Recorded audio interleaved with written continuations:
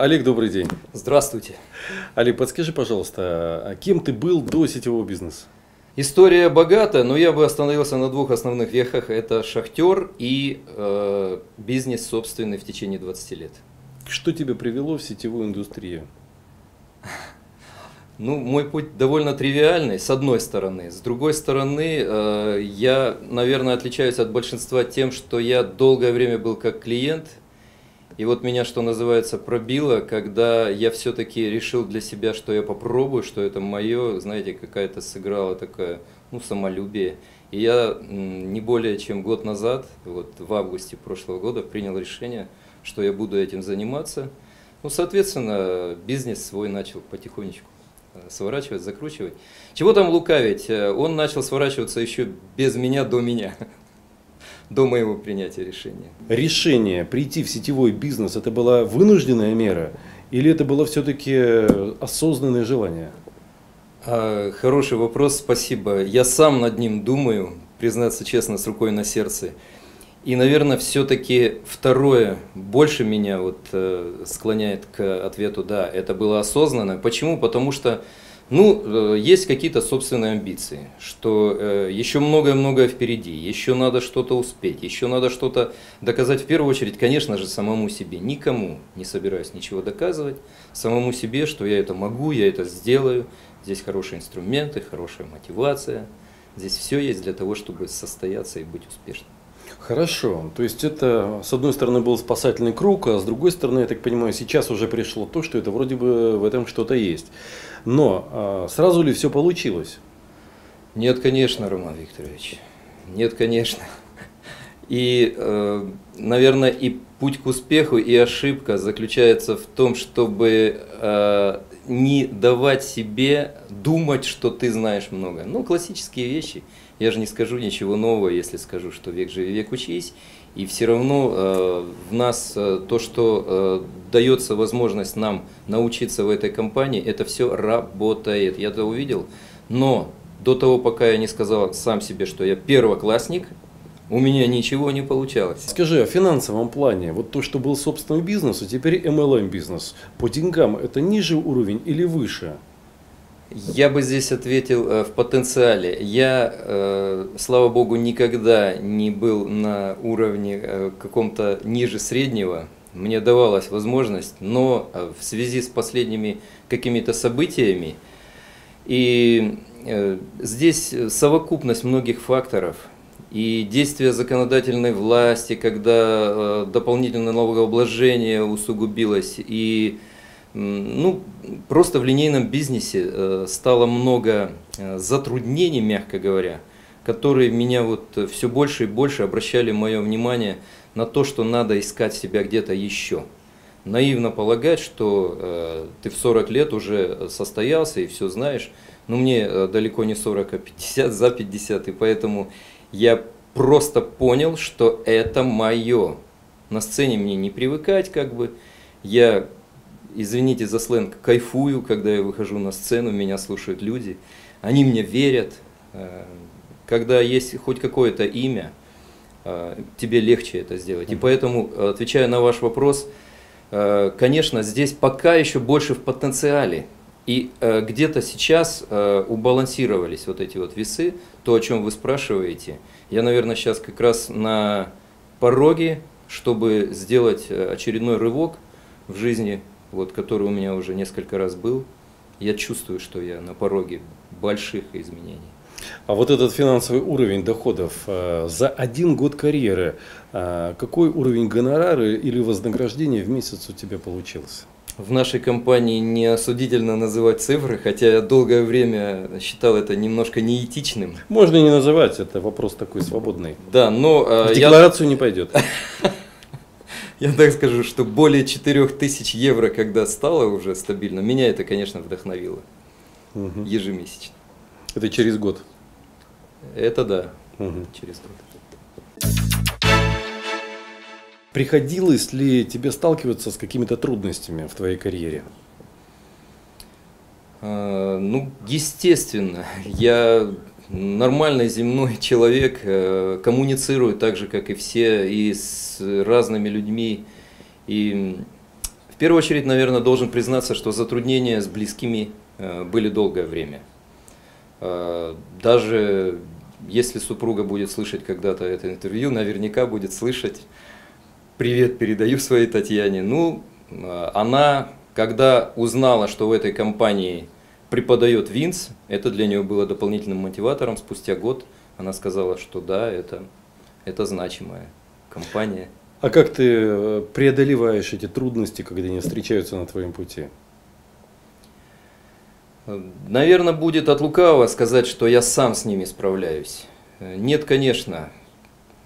Спасибо команде, спасибо тем мотивациям, которые я здесь э, получаю. Одному, наверное, тяжело э, справиться было бы, несмотря на то, что я считаю себя закаленным, состоявшимся. Э, но, конечно, иногда, извините, мочканет так, что, может быть, мало не покажется. И вот здесь на помощь приходит команда. Угу. Мы заряжаемся друг от друга. Я много раз получал эту добрую энергетику от людей. Сам стараюсь давать то же самое. Это работает. Это я реально чувствую, что... Хорошо, тогда вытекающий вопрос. А как ты мотивируешь себя? Как ты поддерживаешь э, такой высокий уровень энергии и работоспособности? А, спасибо за такую оценку. Я, да, действительно, где-то шахтерское прошлое, где-то и армейское, и, и все вместе, и да и возраст уже, э, конечно, далеко не юный. Э, жизнь заставила не расслабляться. Откуда силы берутся? Ну, это, наверное, вопрос э, больше туда.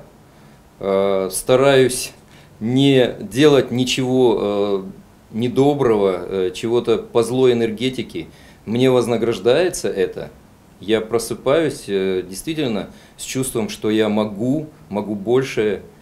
Если ты что-то даешь, тебе это возвращается, я это много раз чувствовал. Олег, а как твои друзья отнеслись к тому, что ты занимаешься сетевым маркетингом? Честно скажу, негативно, конечно. Э, когда ты состоявшийся коммерсант в небольшом городе, хотя ну, по разным меркам, по оценкам, Караганда это довольно крупный город, но все равно меня за 50 лет там, конечно, все знают. И многие, ну, наверное, я полагаю, про себя и пальцем у виска покрутили. Кто-то закрылся, кто-то откровенно э, сказал, что ты ерундой занимаешься. Но осилит дорогу идущий, я в какой-то момент получил даже удовлетворение от того, что у меня поменялось окружение. Те люди, с которыми я сейчас делаю этот бизнес, они гораздо более продвинутые, они гораздо более позитивные, перспективные, энергичные. И я от них больше получаю, они мне больше дают. Те, кто, ну, а, жалко, конечно, хотя я себе говорю ни о чем не жалею, но э, вот э, те, я надеюсь, это временно, Роман Викторович. Я надеюсь, что никому ничего не собираюсь доказывать, но я могу показать, не доказать, а показать, чего я достигну. А что ты еще получаешь, в принципе, от сетевого маркетинга, от э, нашей индустрии, от того, чем ты сейчас занимаешься? О, сколько у нас есть времени? Я, я получаю все. Я буквально э, полностью э, вижу себя реализовать. Меня очень устраивает в этой компании. Не хочу вам лично польстить, но абсолютно все ценности, которые я себе ставил раньше, они совпадают с теми, которые декларирует, пропагандирует президент компании, э, бизнес-тренеры. Я давно не был в роли подчиненного, с, еще с армией, наверное, когда. И такое э, удовольствие, когда с тебя требует, чтобы вот этот лоск, побритость, чтобы у нас был дресс-код строгий. Это здорово. Ну и э, некоторые еще ценности. Все, что мы здесь э, получаем, это и э, путешествия. Я безнадежно больной человек путешествиями. Я вот первый год, ну как раз из-за того, что сказал себе, что я сделаю эту карьеру, я первый год отказался от сплавов. А вообще-то я ненормальный человек в хорошем смысле этого слова, я сплавляюсь по рекам. Но сегодня э, мне это предстоит сделать, наверное, уже со своей командой. У меня есть мечта. Я сделаю это с командой Life is Good в следующем году, обещаю.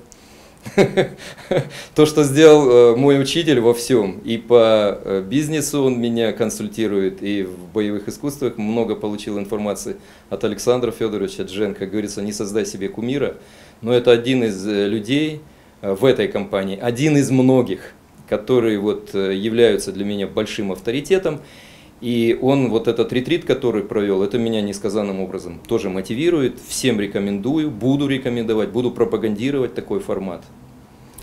Угу. Какая твоя мечта? А, коротенькую, ближайшую, я уже озвучил.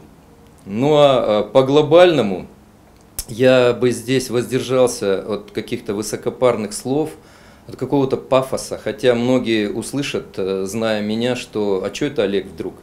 Но я не побоюсь сказать, что я хочу сделать людей счастливыми, и мне, к счастью, это удается. Те люди, которые спустя время какое-то проникаются вот пониманием того, чем я сейчас занимаюсь, у меня негатив в последнее время только один.